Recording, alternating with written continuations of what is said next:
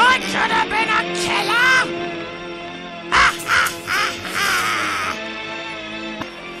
I could have been a killer who thought that he was